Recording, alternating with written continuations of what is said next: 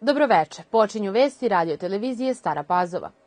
Predsednik Srbije Aleksandar Vučić danas je u razgovoru sa komesarkom Evropske unije za unutrašnje poslove i migracije Ilvom Johansson naglasio da Srbija nastavlja aktivno da radi na postupku usklađivanja svoje vizne politike sa Evropskom unijom i da je u tom smislu, pored primene dodatnih mera, planirano i uvođenje viznog režima za one države iz kojih je registrovan najveći broj zloupotreba.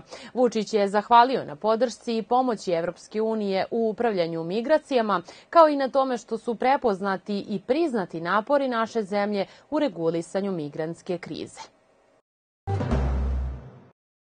Zamenik pomoćnika državnog sekretara i specijalni izaslanik SAD-a za Zapadni Balkan Gabriel Escobar izjavio je da bi SAD želele na sastanku u Ohridu da vide priznanje da je zajednica srpskih opština značajan deo odnosa između Beograda i Prištine.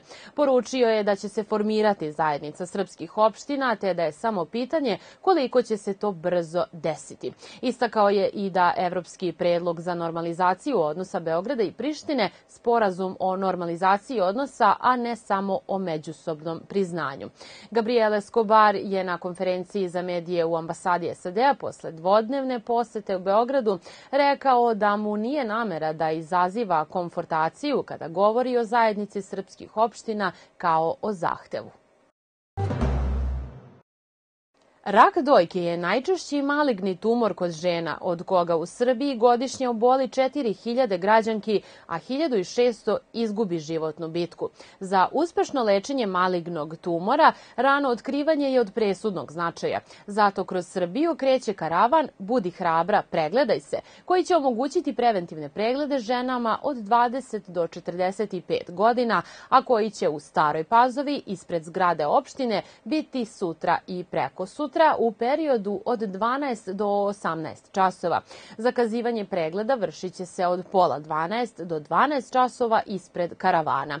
Ovaj karavan realizuje udruženje Žena uz ženu uz podršku opštine Stara Pazova. Važno je napomenuti da će skrining za rano otkrivanje raka dojke biti potpuno besplatan.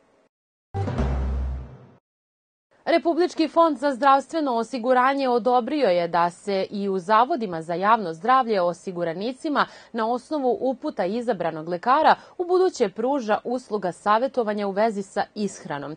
To će biti moguće u slučajevima kada ishrana predstavlja jedan od faktora rizika pojave bolesti srca, krvnih sudova, diabetesa, malignih i drugih oboljenja.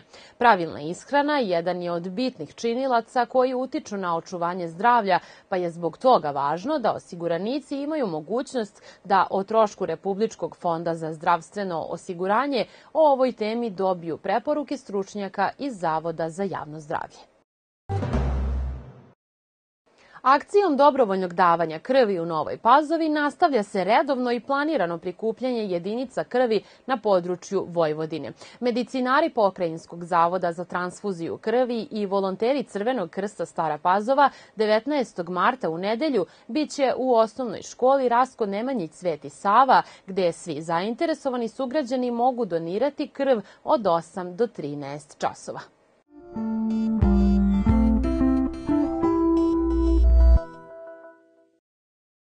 Vreme sutra ujutru hladno, ponegde slab mraz. U toku dana u većem delu pretežno sunčano i toplije, samo ujutru i prepodne na jugu i istoku zemlje umereno do potpuno oblačno i suvo.